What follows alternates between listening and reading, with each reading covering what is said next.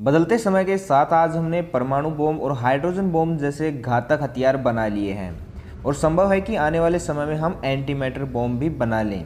लेकिन एक ऐसा भी वक्त था जब इन घातक हथियारों का निर्माण ही नहीं हुआ था। लेकिन कुछ ऐसे हथियार थे जिनके दम पर पूरा विश्व एक दूसरे से लड़ रहा था। जी हाँ मैं बात कर रहा हूँ फ़र्स्ट वर्ल्ड वॉर की। अगर आपको हथियारों को जानने में रुचि है तो ये वीडियो आपके लिए बहुत ही खास होने वाला है। नमस्कार, आप देख रहे हैं रहस्य टीवी और मैं हूँ कुलदीप सिंह। तो चलिए चलते हैं सन 1914 में। प्रथम विश्व युद्ध 28 जुलाई 1914 से लेकर 11 नवंबर 1918 तक चला। और इस युद्ध में कुछ ऐसे खतरनाक हथियारों का उपयोग किया गया था, जिनका नाम सुनते ही दुश्मन के पैरों तले ज़मीन खिसक जाती थी। आज मैं आपको ऐसे ही नौ हथियारों के बारे में बताने जा रहा हूँ, जिन्होंने प्रथम विश्व युद्ध में महत्वपूर्ण भूमिका निभाई। नंबर नाइन पर है ली एनफील्ड।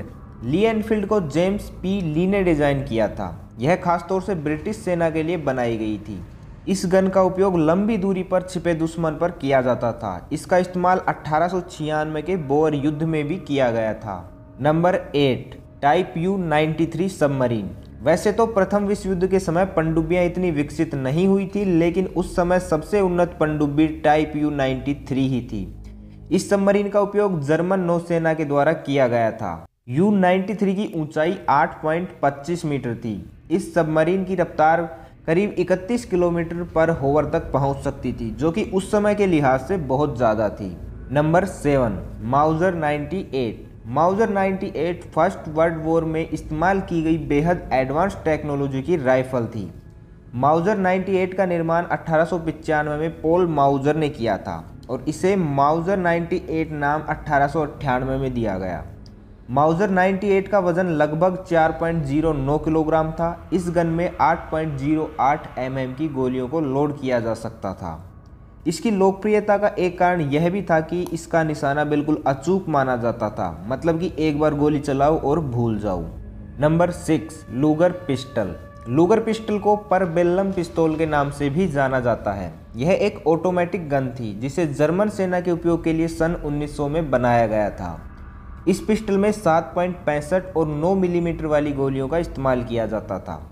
इसमें एक बार में आठ गोलियाँ डाली जाती थी। छोटी होने के कारण इसे आसानी से कैरी किया जा सकता था और इसीलिए ये एक अच्छी सेकेंडरी वेपन गन मानी जाती थी। इस गन का इस्तेमाल जर्मन सेना के द्वारा 1908 से लेकर 1938 तक किया गया था। इसके अलावा कई अन्य देश जैसे ब्राज़ील, बुल्गारिया, ईरान, स्विट्ज़रलैंड जैसे देशों की सेनाओं ने भी इस गन का इस्तेमाल किया था। Number five, maximum M G zero आठ मशीन गन। यह मशीन गन प्रथम विश्व युद्ध में बहुत ही घातक मशीन गन साबित हुई। इसका सबसे बड़ा कारण ये था कि इस मशीन गन में एक ही बार में गोलियों की अच्छी खासी मात्रा आ सकती थी और साथ ही में यह बहुत ही कम समय में तेज़ी से बैक टू बैक फायरिंग कर सकती थी। अगर कोई एक बार इसके सामने आ गया तो फिर भाई उसका तो भगवान ही मालिक है। ये गन हीरा मैक्सिम ने अट्ठारह में डिज़ाइन की थी। इस गन के द्वारा एक बार में लगभग 500 राउंड फायर किया जा सकता था। Number four, Lewis gun. प्रथम विश्व युद्ध में लेविस गन का उपयोग अमेरिका द्वारा किया गया था। यह भी एक ऑटोमेटिक मशीन गन थी, लेकिन ये दूसरी मशीन गनों के मुकाबले बेहद हल्की थी। जिसके कारण इसे एक जगह से दूसरी जगह आसानी से शिफ्ट किया जा सकता था। इस गन के द्वारा एक मिनट में 500 से लेकर 600 तक राउंड फायर किए जा सकते थे। यही कारण था कि अमेरिकी सेना ने इसका इस्तेमाल लंबे समय तक किया और प्रथम विश्व युद्ध में ये अमेरिकी सेना की ताकत बनी। Number three, Mark V tank. Mark V tank अपने समय का बेहद एडवांस और ख़तरनाक हथियार था। इसे ब्रिटिश सेना के लिए बनाया गया था और इसी के दम पर ब्रिटिश सेना ने अनेक युद्ध जीते थे। ये टैंक इतना खतरनाक था कि इसके चलने की आवाज़ सुनते ही आसपास का इलाका खाली हो जाया करता था। इस टैंक का वज़न 28 टन था, लेकिन फिर भी इसकी गति 5.9 किलोमीटर पर होवर थी। Number two, Fokker triplane. प्रथम विश्व युद्ध में केवल थल सेना का ही दबदबा नहीं था, बल्कि वायुसेना और नौसेना का भी वर्चस्व बरकरार था। प्रथम विश्व युद्ध में सबसे शक्तिशाली फाइटर प्लेनों में से एक था फोकर ट्राइप्लेन इसे जर्मन सेना के द्वारा विकसित किया गया था। इस प्लेन में 110 एचपी का इंजन लगा हुआ था, जो इसे हवा में एक गोली की रफ्तार से उड़ने में मदद करता था। इस प्लेन का वज़न लगभग 1300 पाउंड था। ये प्लेन मैक्सिमम एक किलोमीटर पर होवर की स्पीड प्राप्त कर सकता था और हवा में बीस हज़ार फीट की ऊंचाई तक जाने की क्षमता रखता था। आज के विमानों से अगर इसकी तुलना की जाए तो ये बहुत ही स्लो है, लेकिन उस समय इससे तेज़ कोई और नहीं था।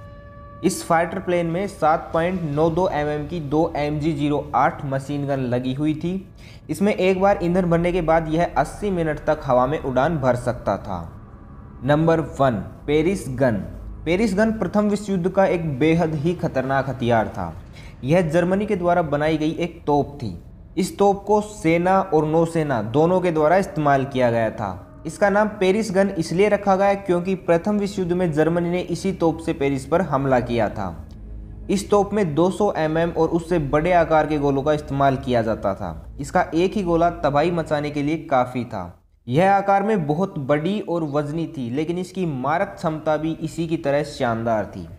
पेरिस गन की मारक क्षमता 130 किलोमीटर थी। मतलब ये गन आसानी से 100 से लेकर 130 किलोमीटर तक फायरिंग कर सकती थी और वो भी 200 mm के गोलों के साथ।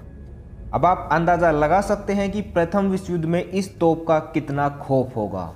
तो बस आज के लिए इतना ही। आपको इनमें से कौन सा हथियार सबसे बेस्ट लगा मुझे कमेंट करके ज़रूर बताना। मिलते हैं अगले शनिवार को शाम छः बजे। तब तक के लिए खुश रहें, मस्त रहें, हँसते रहें। भगवान करे आप सभी का दिन शुभ हो।